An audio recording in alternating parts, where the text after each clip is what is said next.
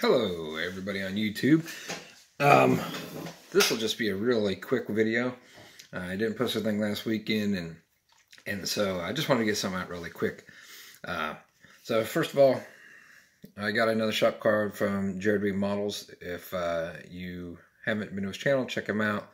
I'm sure he'd really appreciate it. Jared, thank you for sending me this. Thank you for the words on the back, and uh, keep molding on, brother.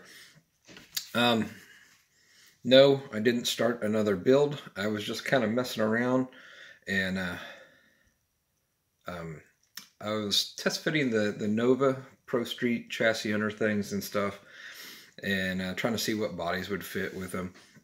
And uh, I discovered that the Grumpy's Vega uh, chassis fits perfect on these Mustangs.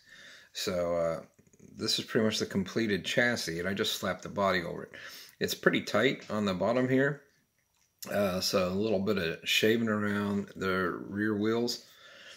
Um, or just applying some heat, spreading the body out, and it should fit over there, and then that'll allow you to slide a little bit, get a little bit of a better fit on the front. Um, but yeah, that's that's. I mean, it looks like the front wheels are off, but like I said, if you you get it out, spread it out a little bit, and it's also sitting in there a little bit crooked. It's not I just basically threw the body over the top of it.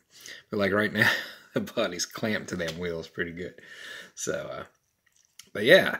So anybody that's wanting to uh, pro mod the 88 Mustang, so that kit.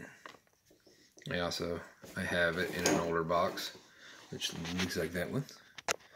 Um, but yeah, if you want to do that, then the uh, Grumpy's Vega should work for it.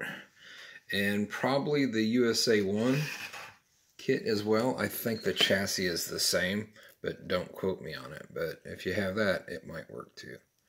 So uh, that's it, guys. I'll catch you uh, later.